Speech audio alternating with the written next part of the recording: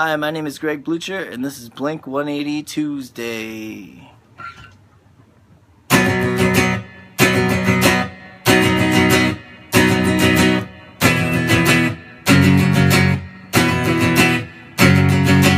Oh,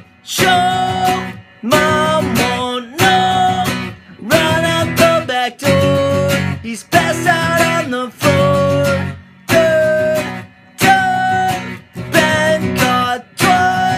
Forgive our neighbor Bob I think he off the top But good things come to